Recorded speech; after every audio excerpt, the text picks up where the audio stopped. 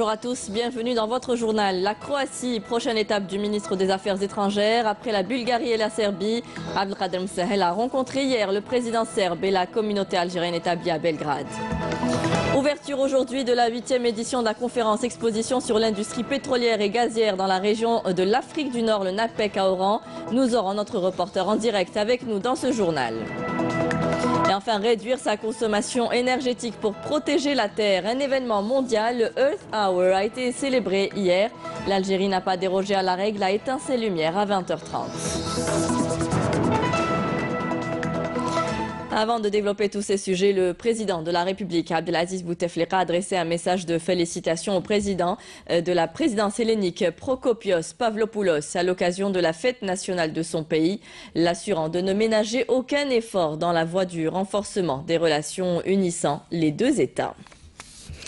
Le ministre des Affaires étrangères poursuit sa visite officielle après la Bulgarie et la Serbie. Abdelkader Msahel doit se rendre en Croatie. La coopération dans les secteurs économiques, commerciaux et techniques, mais aussi dans les domaines culturels et des archives seront parmi les priorités évoquées à cette occasion.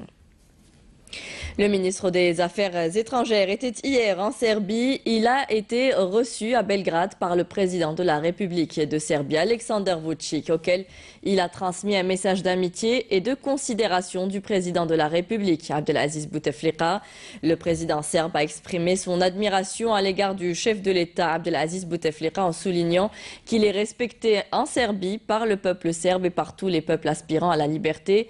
Il a également loué les politiques de développement de l'Algérie qui ont démontré la clairvoyance du chef de l'État.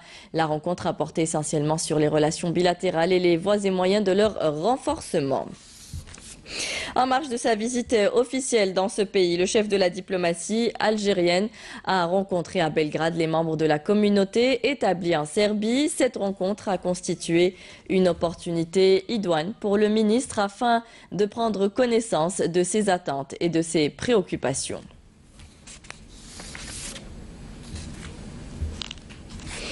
Un des principaux événements économiques aujourd'hui, l'ouverture de la huitième édition de la conférence exposition sur l'industrie pétrolière et gazière dans la région de l'Afrique du Nord, le NAPEC. L'événement s'est ouvert ce matin à Oran lors d'une cérémonie présidée par le ministre de l'Énergie, Mustafa Guitoni. Cette manifestation qui se poursuit jusqu'au 28 mars en cours, dédiée aux différentes activités de l'industrie pétrolière et gazière, connaît la participation d'une quarantaine de pays avec la présence de grandes firmes pétrolières et énergétiques internationales, dont les deux compagnies algériennes Sonatrach et Sonelgaz, aux côtés des groupes internationaux comme Total, Rapsol et Statoil. Saïda, bonjour. Vous êtes sur place. les préoccupations énergétiques de l'heure, le marché pétrolier, la transition énergétique et les nouvelles technologies en la matière sont au cœur de ce rendez-vous qui se veut également un espace d'échange d'expérience et de savoir-faire. Oui, effectivement. Donc, bonjour Feriel. Ce sont toutes ces thématiques aussi pointues et aussi ciblées, mais ajoutées à bien d'autres qui tournent autour de le, du devenir énergétique, non seulement dans la région de l'Afrique du Nord, mais aussi et également à travers la planète, qui vont être décortiqués quatre jours durant au centre de convention d'Oran. Mais avant cela, il faut savoir que c'est sous le slogan Défi, succès et vision que s'est ouvert cette huitième édition du NAPEC, donc North Africa Petroleum Exhibition and Conference, donc la conférence exposition dédiée à l'industrie pétrolière et gazière dans la région de l'Afrique du Nord, euh, qui, euh, qui, a été marquée par une forte présence euh, d'experts internationaux, de délégués de haut rang, donc nationaux et internationaux, qui sont venus justement pour voir quel est le devenir de l'énergie à travers le monde face aux défis majeurs auxquels est confrontée toute la planète.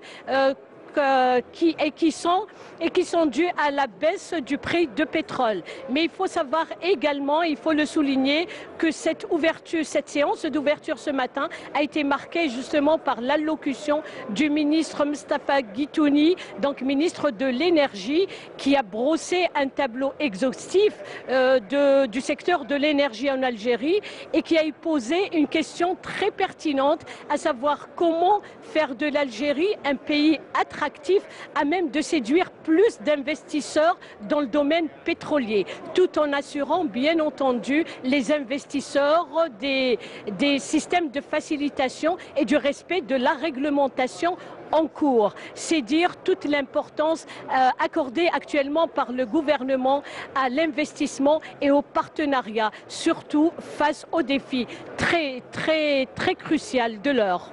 Voilà ce qu'il y avait à dire par rapport à cette matinée. Merci Saïda, merci pour toutes ces informations. On suivra bien sûr l'évolution de cet événement dans nos prochaines éditions. Je rappelle que vous étiez en direct avec nous depuis Oran où euh, s'ouvre, où s'est ouvert ce matin la huitième édition du NAPEC, euh, salon professionnel dédié à l'industrie gazière et pétrolière. Des lumières se sont éteintes la nuit dernière dans des capitales du monde pour la 11e Earth Hour, destinée à mobiliser contre le changement climatique et aussi pour la nature. Lancée en 2007 avec un seul événement à Sydney, l'opération Earth Hour est organisée désormais aux quatre coins du monde. L'Algérie n'a pas dérogé à la règle, comme vous allez le voir en image. À Oran et à Ouergla, les lumières se sont également éteintes à 20h30.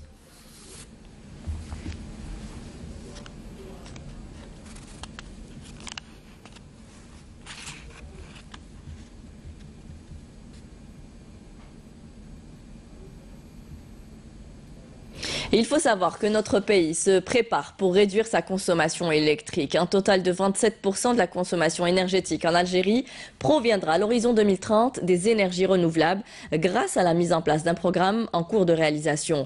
À l'occasion de cet événement mondial, le Earth Hour, les autorités publiques ont appelé à rationaliser davantage la consommation de l'énergie. Naïma Haouch.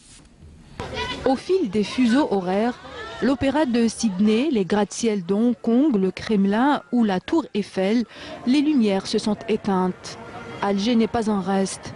Lieux publics et monuments ont été plongés dans l'obscurité. Earth Hour est destiné à se mobiliser contre les changements climatiques. En célébrant cette journée qui coïncide avec l'événement Une heure pour la planète, prouve notre volonté de vouloir rejoindre les pays qui ont enregistré des avancées scientifiques et technologiques en matière énergétique. Nous faisons aujourd'hui une halte pour célébrer une heure pour la planète et je dirais que l'Algérie a besoin de plusieurs heures, de jours et de mois avec la concurrence de tous pour arriver à réaliser les objectifs escomptés. Durant une heure, les lumières ont donc été éteintes à Alger pour sensibiliser le consommateur quant à l'importance que requiert cette action symbolique et pourtant vitale pour la survie de la planète. Quand on diminue la consommation de l'énergie, on diminue par conséquent sa production. Et donc, on ne va pas construire d'autres générateurs électriques. En Algérie, le principal générateur qu'on utilise est celui du gaz naturel. Et nous avons grand besoin du gaz parce qu'on le distribue. Les foyers en ont besoin pour la cuisine, le chauffage, et puis nous l'exportons aussi. Mais si on doit gaspiller ce qu'on produit, alors c'est un investissement perdu.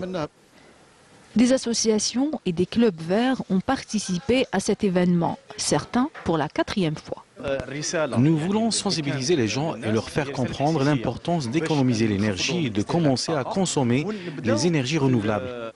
Cette année, Earth Hour voulait dépasser la seule question du réchauffement, appelant également à la mobilisation pour la préservation de la nature. De l'avis des experts, l'humanité se met en danger en provoquant le déclin de la faune et de la flore de la planète. Dans le développement local, 800 projets d'investissement agréés et validés par l'État ont été enregistrés dans la wilaya d'Oran, des entreprises activant généralement dans la sidérurgie et l'agroalimentaire. Ben Saidi. Ces dernières années, la wilaya d'Oran a atteint sa vitesse de croisière en matière d'investissement et de projets fructueux, et ce dans plusieurs domaines. Dans le secteur de l'industrie, notamment la sidérurgie, la wilaya a réussi à couvrir les besoins du marché national à hauteur de 40% et de 20% en faveur du secteur de l'agroalimentaire. Les zones industrielles de la wilaya connaissent elles aussi une activité industrielle très importante. L'État a enfin validé notre demande qui consiste en la création d'une nouvelle zone industrielle au niveau de la région de Tafraoui qui s'étend sur 600 hectares. Cet acquis est un plus pour la wilaya d'Oran. En tout, ce sont 800 projets d'investissement et de développement agréés dans plusieurs domaines afin de préserver le foncier et d'encourager l'activité industrielle dans ces différentes filières. Des projets qui consistent aussi à accélérer la cadence des travaux des grands chantiers. Ce programme fait partie de la feuille de route tracée et mise en œuvre par l'État afin de sortir de la dépendance aux hydrocarbures et arriver à une économie génératrice de richesses. Nous avons relevé plusieurs défis, mais le plus grand est sans doute celui de mettre tous les moyens entre les mains des investisseurs.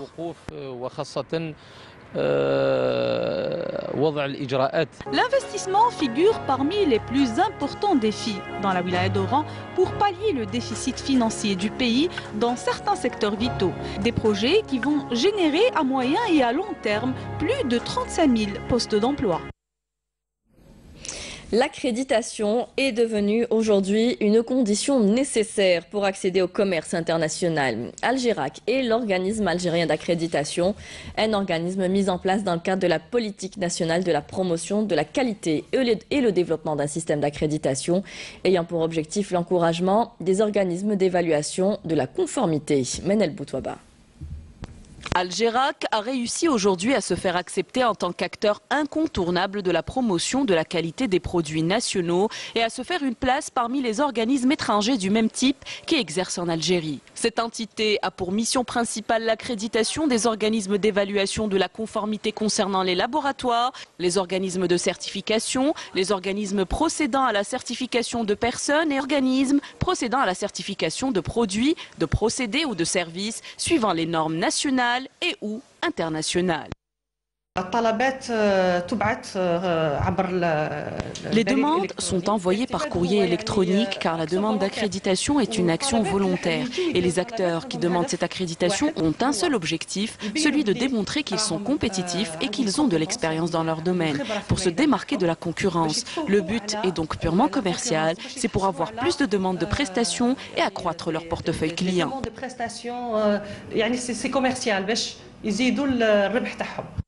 L'accréditation est devenue une condition nécessaire pour accéder au commerce international. Elle favorise une bonne pratique de réglementation, permet de profiter d'un grand choix d'activités d'évaluation de la conformité et permet aux pays en développement de participer à des accords multinationaux. Elle renforce la confiance du consommateur, des importateurs et des exportateurs et enfin élargit la base d'exportation du pays.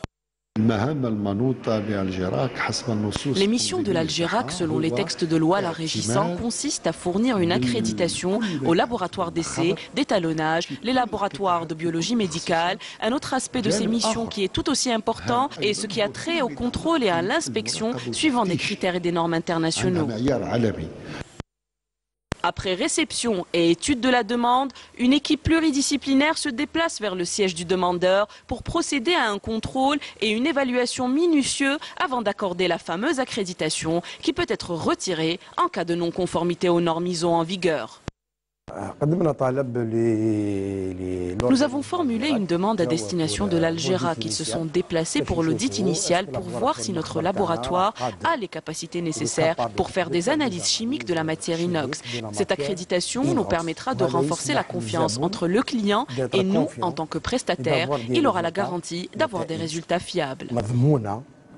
L'Algérac a depuis 2009 fourni 100 accréditations. Il est prévu la délivrance de 75 autres entre 2018 et 2021. Pour information, l'Algérac est depuis décembre 2017 reconnu par l'EA, l'organisme européen d'accréditation.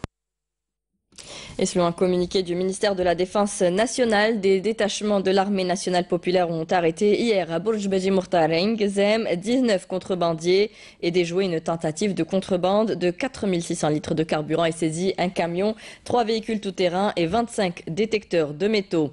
À Sétif et à Inamenas, un autre détachement de l'ANP et des éléments de la gendarmerie nationale ont intercepté trois individus en possession de deux armes à feu et une quantité de munitions.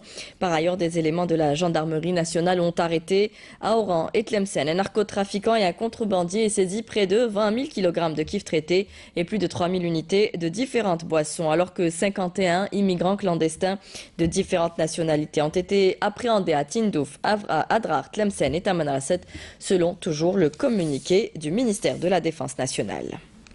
Du sport, la GS Kabylie a pris le dessus euh, sur l'USM Blida hier au stade du 5 juillet sur le score de 2 buts à 1. Les Canaries décrochent ainsi le dernier billet mis en jeu pour les demi-finales de la Coupe d'Algérie de football.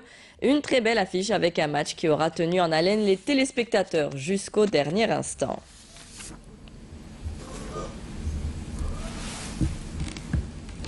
Et de la culture à présent, la troisième édition du festival de Annaba du film méditerranéen propose 60 films, dont 20 pour la compétition officielle, pour décrocher le Annab d'or dans les catégories long métrage et film documentaire.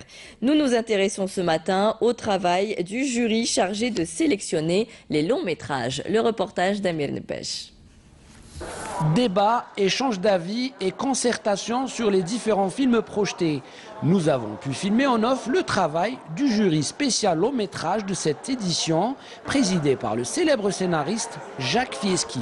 Là, j'ai dit oui tout de suite parce que pourquoi? Bah, À cause de l'Algérie. Voilà, j'avais envie d'y être, euh, euh, de séjourner ici, euh, de retrouver ce pays où je suis né par ailleurs. Donc, si on me parle de l'Algérie, j'accours. Mais que pense-t-il du cinéma algérien en général? Il y, a des, nouveaux metteurs en scène, des garçons, des filles qui ont des choses à dire et qui se servent des thèmes algériens pour en donner une interprétation très personnelle, très subtile euh, et euh, avec des propositions, de vraies propositions de cinéma, que ce soit dans la thématique ou dans la forme. Une jeunesse qui a besoin de formation, d'encadrement et surtout d'échanger avec les anciens réalisateurs qui ont une grande expérience dans le domaine. Il y a intérêt justement à, se, à cristalliser des forces en commun pour, pour qu'une cinématographie nationale avance.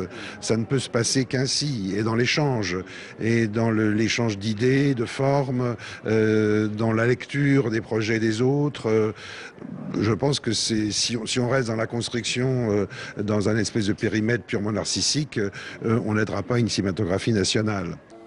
Le festival du film méditerranéen de Annaba rayonne au-delà des salles obscures à travers les rencontres et le partage. Le printemps tarde à s'installer. Des vents forts ont soufflé ces dernières 48 heures sur plusieurs wilayas du pays, accompagnés de fréquentes pluies. Le bulletin météo, c'est ce qui vous permet de connaître le temps qu'il fera aujourd'hui, demain ou encore dans une semaine selon des prévisions. Comment se prépare-t-il? C'est ce que nous montre Soumi Yazrouali dans ce reportage. Le bulletin météo, un programme d'une importance majeure à la télévision intervenant traditionnellement au début ou à la fin du journal d'information ou encore de la matinale. Qu'est-ce qui caractérise un bulletin météo et comment est-il réalisé? C'est ce que nous allons savoir aujourd'hui. Pour cela, nous nous sommes rendus en compagnie de Mina à l'Office national de météorologie où nous allons rencontrer des experts en la matière. La première des choses, il doit regarder en temps réel le temps qu'il fait actuellement. Et ça, euh, bien sûr, en regardant la photo satellite. Là, on peut regarder le mouvement des nuages. Aussi, il doit euh, consulter le réseau euh, des données, parce que nous avons à travers le territoire national des stations qui sont implantées et, qui nous envoient des paramètres météo en temps réel chaque heure. Et après tout ça, toutes ces euh, informations et données sont injectées dans un modèle numérique. Je, sauvegarde ce que j'ai fait et là, je commence à faire euh, le temps et les températures de l'Europe. Ça, c'est pour le bulletin de 19h et pour euh, le bonjour d'Algérie. Donc là, par exemple, à Marseille, on a un petit peu de nuages. Donc là, dans mon logiciel, j'ai voilà, ce petit nuage-là je diminue un petit peu la taille et hop, je le mets ici et je change la température. Au lieu de 13, je mets 14 degrés. Observer, recueillir, compiler et interpréter les données sur les phénomènes atmosphériques. Ici, tout passe au peigne fin à l'aide d'instruments de mesure, d'outils de communication électronique et de photographie transmises par satellite en vue de préparer et de diffuser l'information sur les conditions météorologiques et les prévisions du temps à court ainsi qu'à moyen terme. On fait une analyse euh, complète concernant la situation du jour, euh, concernant le J et J plus 1 et J plus 2. Et puis, euh, on va voir les, sorties de modèles euh, de différents types de modèles, soit, soit Arpège, soit Aladdin et, et Et on les compare entre eux. Si on voit qu'ils sont, sont divergents, c'est-à-dire on, va prendre une décision de choisir l'un d'eux. S'ils si, convergent, c'est-à-dire c'est bon. Il y a un deuxième bulletin qui, s'appelle le bulletin de moyenne échéance. Euh, pour le moment, on élabore jusqu'à jusqu'à 5 jours.